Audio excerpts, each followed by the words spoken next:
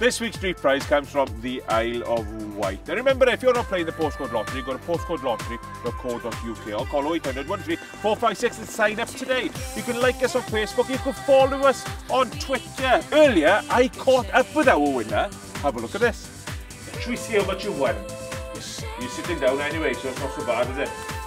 £25,000. 25,000 and it's wonderful.